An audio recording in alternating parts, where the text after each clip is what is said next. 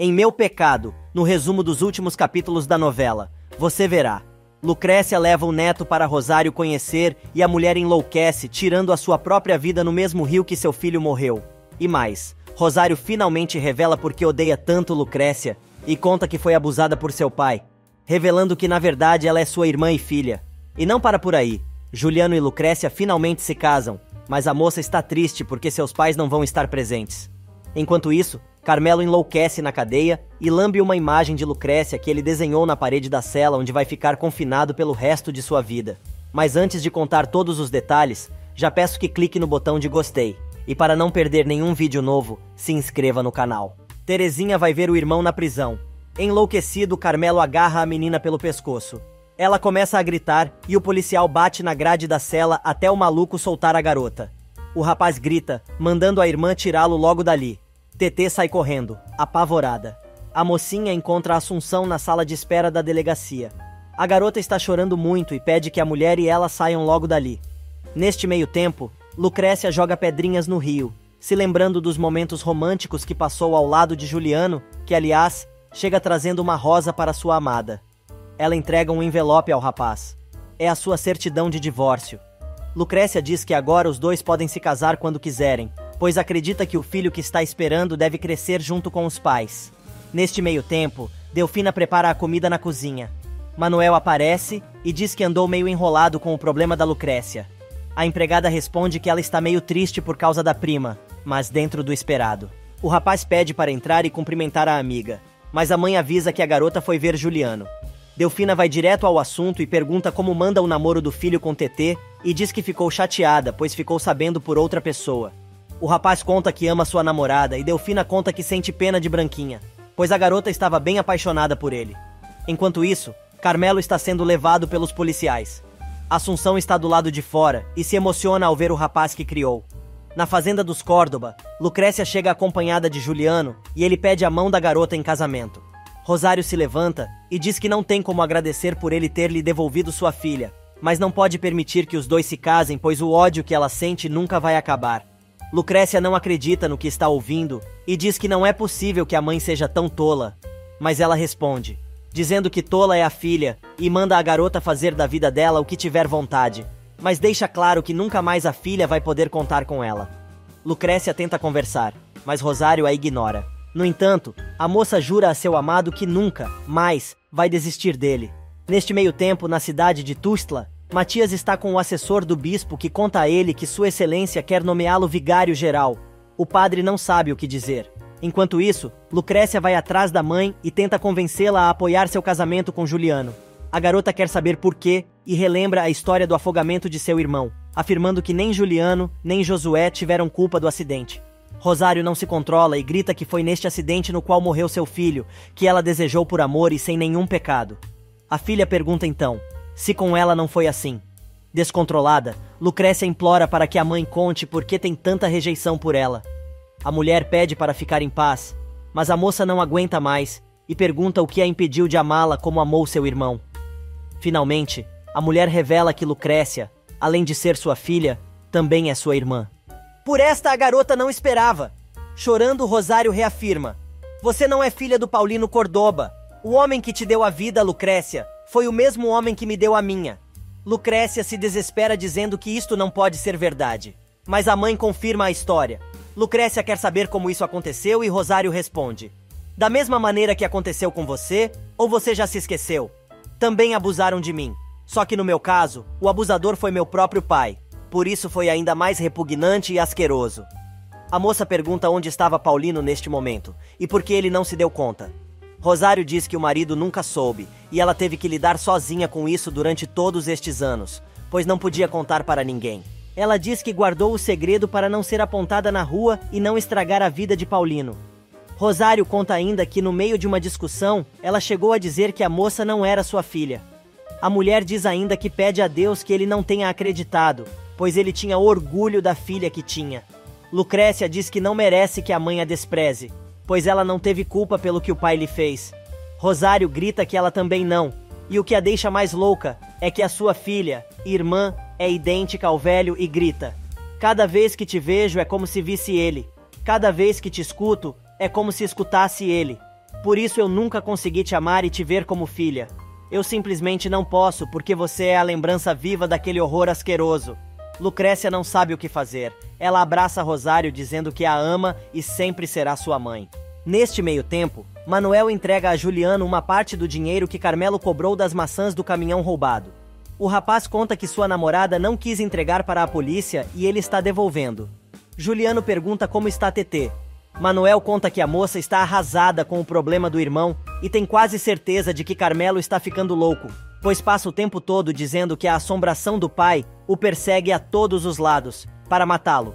Feliz da vida, Juliano conta ao amigo que ele e Lucrécia finalmente vão se casar no próximo sábado.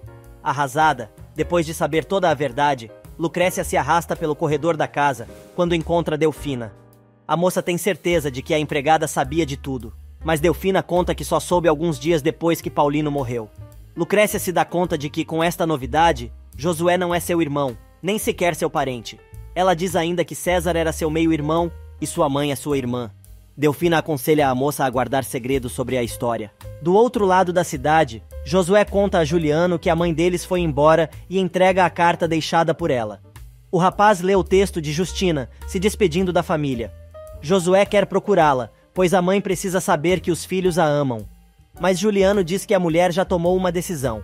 E na Fazenda Milagre, Delfina vai ver como está a patroa que revela que não está se sentindo bem por ter contado a verdade a Lucrécia.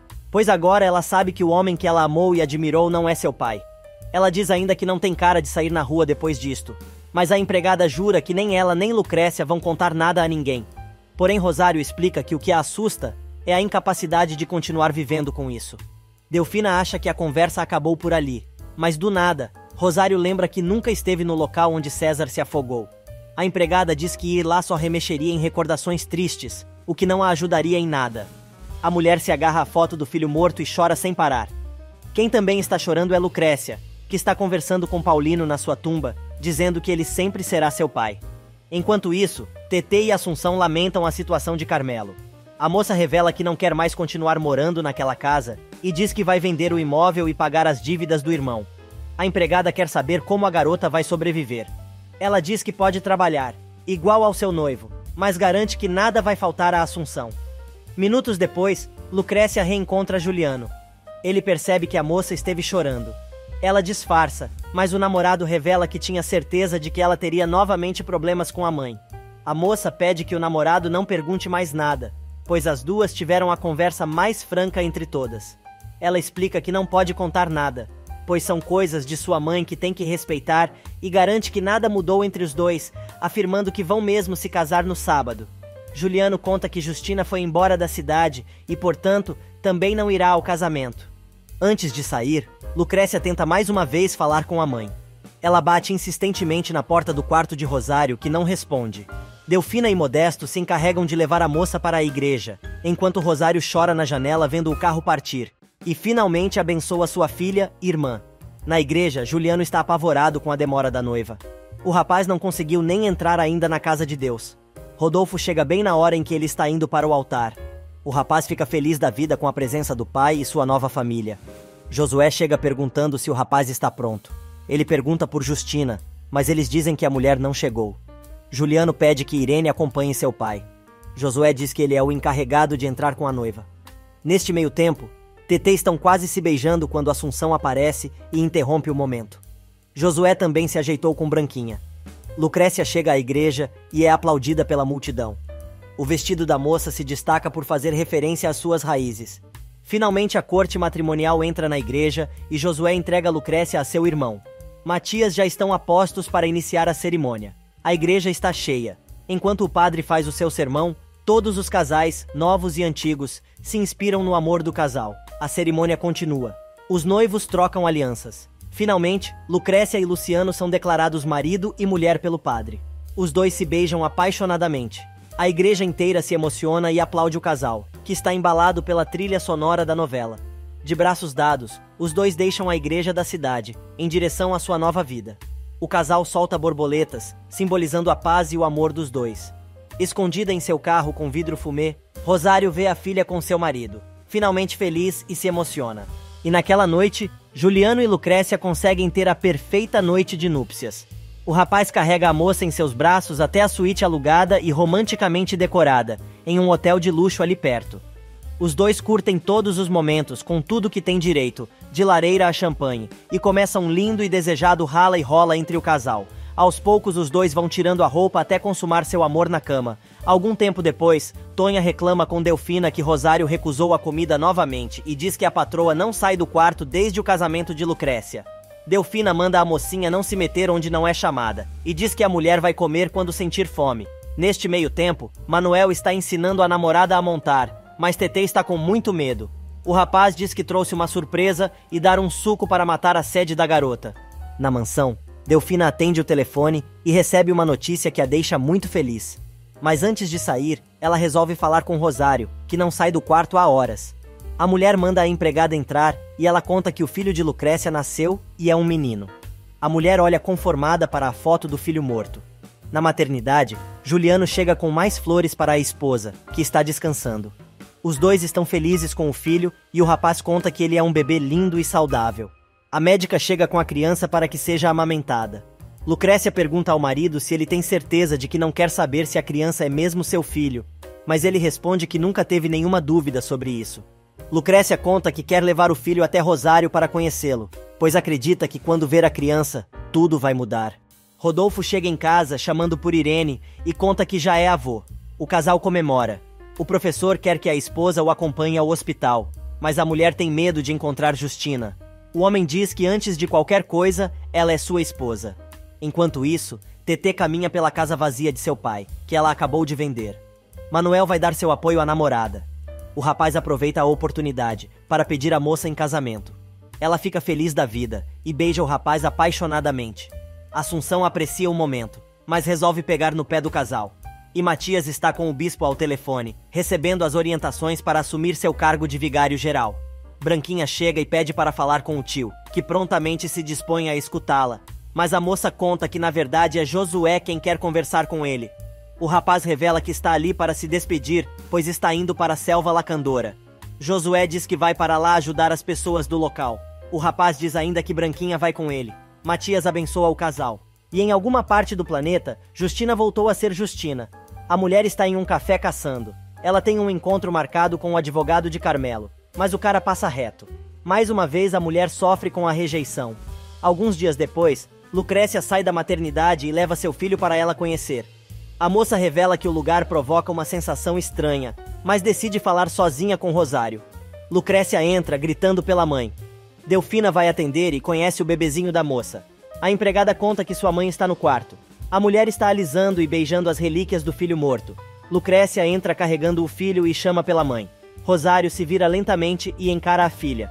A moça caminha em direção à avó, dizendo que levou o neto para que ela o conhecesse e diz que seu nome é César.